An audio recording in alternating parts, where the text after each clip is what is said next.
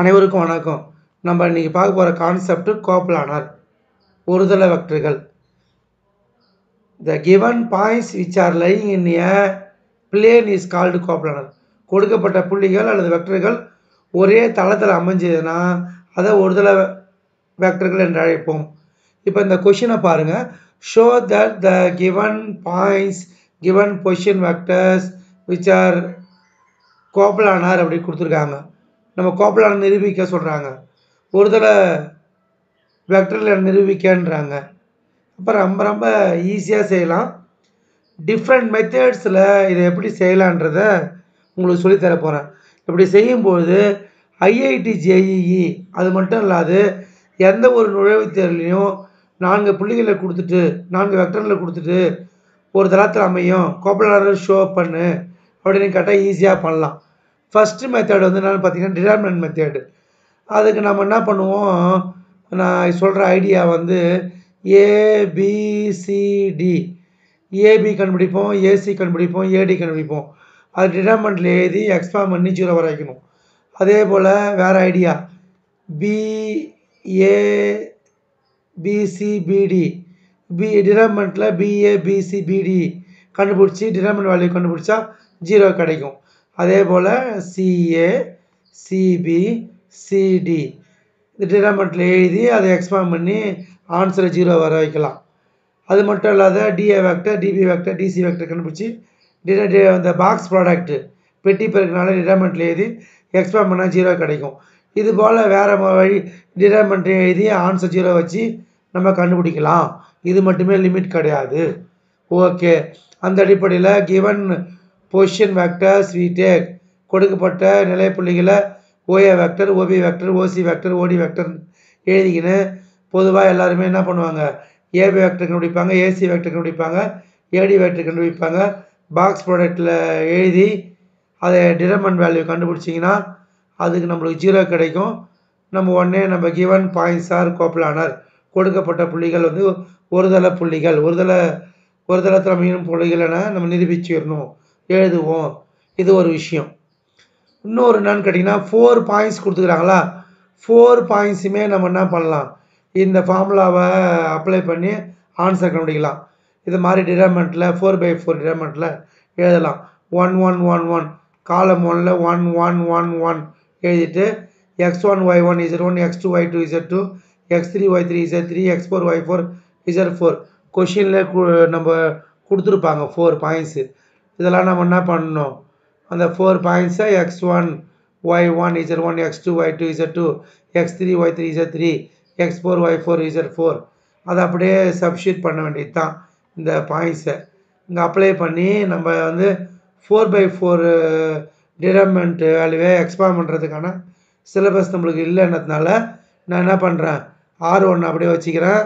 இங்கே ஆப்ரேஷன்னா ஆப்ரேட் பண்ணுறேன் இந்த இடத்துல R two minus R one R three minus R one R four minus R one செஞ்சு இது மாதிரி எக்ஸ்பாண்ட் பண்ணி இதை எழுதி இது மாதிரி எழுதி கொண்டு வந்து எக்ஸ்பாண்ட் பண்ணுறேன் எக்ஸ்பாண்ட் பண்ணும்போது இந்த த்ரீ பை த்ரீ டிடர்மெண்ட் பண்ணி கிடைக்கும். அதே போல் எக்ஸ்பேம் பண்ணால் நம்மளுக்கு ஆன்சர் கிடைக்கும். ஸோ நம்ம கோப்பலானர் முடிப்போம். இது ரொம்ப சிம்பிள் இந்த ஃபார்முலாவில் அப்ளை பண்ண சொல்கிறேன் நம்ம லிமிட்டே ஆகக்கூடாது.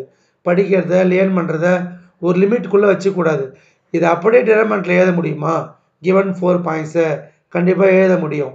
இப்போ ஃபோர் பை ஃபோர் எலமெண்ட் கிடைக்குது. இது எக்ஸ்பாண்ட் பண்ணதுக்கு நம்மளுக்கு இப்போ நம்ம இப்போ சிலபஸில் டுவெல்த்தில் இல்லை. என்னதுனால நான் என்ன பண்ணுறேன் இந்த இந்த இடத்துல ஒன் ஒன் ஒன் வருதுல ஜீரோ ஆக்க முயற்சி பண்ணுறேன் அப்போ ஆர் ஒன் அப்படியே எடுத்துக்கின்னு இந்த ஆர் டூவை ஆர் டூ மைனஸ் ஆர் ஒன்னும் இந்த R three R three minus R ஒன்னும் இந்த ஆர் ஃபோரை R four minus R one மாற்றி அப்போ எக்ஸ்பாண்ட் பண்ண பார்த்து இந்த த்ரீ பை த்ரீ டிடர்மெண்ட் மட்டும் தான் கிடைக்கும். அதை வந்து எக்ஸ்பாண்ட் பண்ண பார்த்து ஜீரோ கிடைக்கும். ஸோ அப்போ நம்ம கிவன் பாயிண்ட்ஸ் ஆர் கோபலானர் கொடுக்கப்பட்ட புள்ளிகள் ஒரு தளத்திலமையும் ஒரே தளத்தில் என்பதை நம்ம இங்கே வந்து சொல்கிறோம் சரி அதுபோல் எலமெண்ட்ரியாக செய்யலாம். இதுவும் ஃபஸ்ட் இந்த மெத்தடும் ஃபஸ்ட்டு மெத்தடும் ஒன்று தான் அதில் ஒரு பெரிய விஷயம் இல்லை. இங்கே பாருங்கள் x two minus x one இந்த கொடுக்கப்பட்ட பாயிண்ட் இருக்குது இல்லைங்களா? இந்த பாயிண்ட்ஸு இந்த பாயிண்ட்ஸ் தான் உங்களுக்கு சொல்லிட்டேன். X one y one x one y one z one x two y two z two x three y three z three x four y four z four அது மாதிரி இந்த given vectors given பாயிண்ட்ஸ்லேருந்து x one y one z one x two y two z two x three y three z four x three y three z three x four y four z four அப்படின்னு நம்ம எடுத்துக்கின்னு இங்கே substitute பண்ணோம்னா நம்மளுக்கு இந்த டிராமெண்ட் கிடைக்கும். இந்த டிராமெண்ட் expand பண்ணோம்னா answer கிடைக்கும். சரி உடனே இதை நம்ம வந்து கண்டிஷன் என்னென்னா ஜீரோ கிடைக்கணும். அப்போ ஜீரோ கிடைக்குது. அப்போ given four points are coplanar. இது வந்து ரொம்ப ரொம்ப பேசிக்கான ஐடியா அந்த பாயிண்ட்ஸாக கன்வெர்ட் ப வெக்டர்ஸை பாயிண்ட்ஸாக எடுத்துக்கினா இதில் அப்ளை பண்ணி ஜீரோ வர வைக்கலாம். இதெல்லாம் நம்ம தெரிஞ்சுக்கிறதுக்காக சொல்கிற வழிமுறைகள். இந்த ஃபார்முலாவை பார்த்துங்க x d x one y two y one z two z one x three x one y two y one z three z one x four x one y four minus y one z four minus z one இது மாதிரி தான் செய்யணும் அவசியம் கிடையாது. இந்த நீங்களே கூட formula மாற்றலாம் இங்கே எல்லாமே நம்ம என்ன பண்ணலாம்? இங்கே வந்து இதை மாற்றி கூட நம்ம ஆன்சர் பண்ணோம்னா காட்ட தான் வருன்றத இந்த நேரத்தில் உங்களுக்கு குறிப்பிடுறேன். சரி. அதுக்கப்புறம் ஃபோர்த்து மெத்தட் இந்த மெத்தேடு பேசிக்காக எல்லாருமே யூஸ் பண்ணுற ஒரு மெத்தேடு தான். இந்த A vector B vector C vector இல்லைங்களா? இதை வந்து ஏபி வேக்டர் கண்டுபிடிக்கணும். ஏசி வேக்டர் கண்டுபிடிக்கணும். ஏடி வேக்டர் கண்டுபிடிக்கணும். OB minus OA OC minus OA OD minus OA இதுதான் நான் என்ன பண்ணுறேன் A vector B vector C வேக்டர்னு எடுத்துக்கிறேன். ஏபி வேக்டர் தான் ஏ வேக்டர்னும் ஏசி வேக்டர் பி வேக்டர்னும் ஏடி வேக்டர் சி வேக்டர்னு எடுத்துக்கிறேன். ஓஏ ஓபி ஓசி ஓடி வேக்டரை கிவன் வேக்டர் எடுத்துக்கிறேன். இந்த ஃபார்முலாவை நான் அப்ளை பண்ணுறேன் இந்த ஃபார்முலா தான் தெரியும். A vector equal to s b vector plus t c vector எழுதி விட்டுட்டு இருக்குது. டிசி வேக்டர் இல்லைனா AB vector equal to s AB vector equal to s into AC vector plus t into AD vector அப்படி கூட நம்ம எழுதி இதை ஈஸியாக ஆன்சர் பண்ணலாம். இப்போ இது மாதிரி எழுதிட்ட உடனே இந்த ஏ வேக்டர்னால் தெரியும். Plus equal to s into b vector எழுதிக்கிறோம் plus t into c vector எழுதிக்கிறோம். ஈக்குவல் இந்த components we have the equation அந்த ஈக்குவேஷன்லாம் சால்வ் பண்ணோம்னா ஃபஸ்ட்டு ரெண்டு ஈக்குவேஷன் சால்வ் பண்ணால் வி கெட் நம்மளுக்கு டி வேல்யூ எஸ் வேல்யூ இந்த t value s value equation த்ரீயில் போய் அப்ளை பண்ணோம்னா சாட்டிஸ்ஃபை ஆகும். Using t and s value in equation three அந்த ஈக்குவேஷன் த்ரீ சாட்டிஸ்ஃபை பண்ணணும் அப்போ அதனால் one vector is linear combination of other two vectors இந்த ஐடியா யூஸ் பண்ணி கிவன் வேக்டர்ஸ் ஆர் கோப்லானர்னு சொல்லலாம். மெத்தடு ஃபைவ் பொதுவாக இது யூஸ் பண்ணுறாங்க ஃபார்முலாவை தான் யூஸ் பண்ணுறாங்க கோப்லானர்னா four points are கோப்லானர்னா there exist alpha beta gamma delta not all zero such that a vector plus b vector plus c vector plus d vector equal zero ஆனால் இங்கே ஒரு முக்கியமான விஷயம்.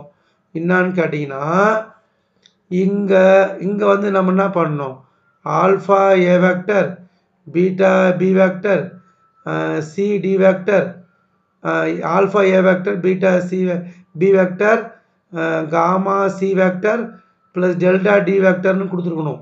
Printing mistake alpha a vector plus beta b vector plus gamma c vector plus delta d vector equal to zero and alpha plus beta plus gamma delta equal to zero one second repeat பண்ணுறேன் four points are coplanar there exists alpha beta gamma delta not all zero such that alpha a vector plus beta b vector plus gamma c vector plus delta d vector equal to 0 and alpha plus beta plus gamma plus delta equal to 0 இப்போ alpha தெரியும் a vector கொஷினில் கொடுத்துருக்காங்க. பார்த்து எழுதுறோம்.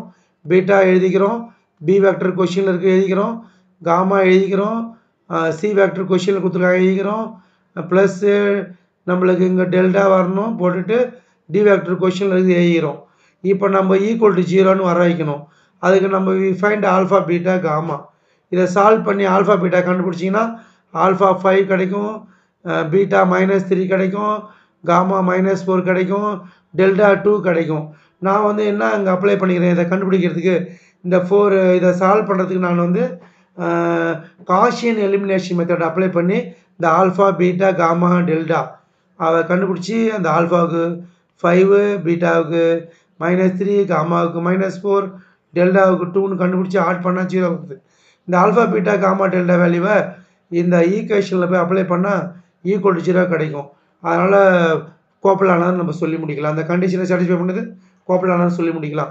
இது போல் இப்போ நான் என்ன சொல்கிறேன்னா கான்செப்டே எளிமைப்படுத்துகிறேன் உனக்கு எது ஏற்றுக்க முடியுதோ அதை எடுத்துக்கோங்க. டிஃப்ரெண்ட் மெத்தட்ஸு டிஃப்ரெண்ட் ஐடியாஸு ஒரு ஸ்டூடெண்ட்டுக்கு தெரியும் போது கான்செப்ட் எல்லாத்தையும் தெரிஞ்சால் தான் ஒரு நிறைய மெத்தடில் போட முடியும். அப்படி தெரியும் போடும்போது புக்கிஷாக இல்லாமல் புக்கில் வர சமம் மட்டும் சால்வ் பண்ணாத five mark two mark three மார்க்னு படிக்காமல் எந்த ஒரு என்ட்ரன்ஸையும் எதிர்கொண்டு இந்த மெத்தடில் எது மெத்தட்லாம் ஒரு அப்ளை பண்ணி கண்டிப்பாக அவங்களால ஆன்சர் கண்டுபிடிக்க முடியும். அதனால தான் இதுமாரி different methods different formulas matrix method அந்த ஐடியாஸு எல்லாமே உங்களுக்கு சொல்லித்தரேன். நல்லா தெரிஞ்சுக்கிங்க நல்லா படிங்க. தேங்க்யூ